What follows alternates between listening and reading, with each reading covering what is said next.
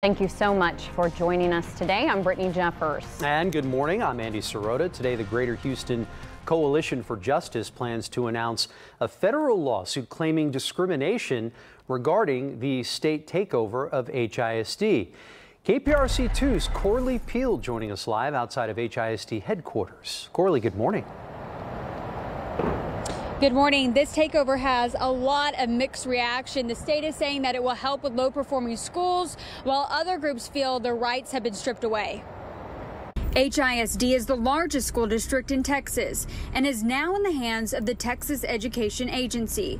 Jackie Anderson with Houston Federation of Teachers says the takeover won't work. When a board is the democratically elected board is replaced and a board of managers that is appointed by the commissioner.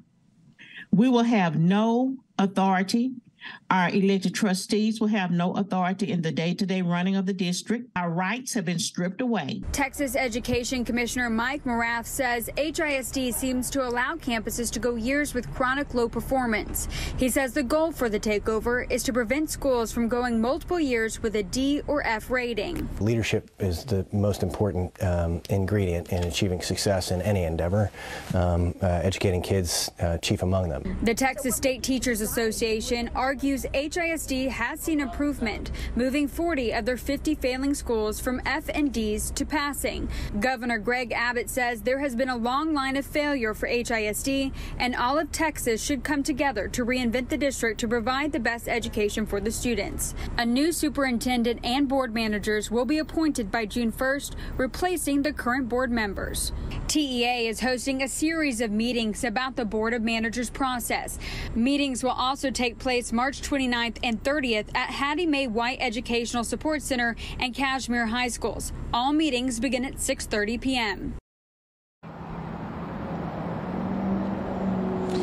At this time, it's unclear what those changes will consist of, but parents can ask those questions at those meetings that you just saw. Again, a news conference is happening at 1230 regarding that federal lawsuit that was filed by the Greater Houston Coalition of Justice. Reporting live from HISD, Corley Peel, KPRC 2 News. Yes, many questions as things progress. Corley, thank you so much.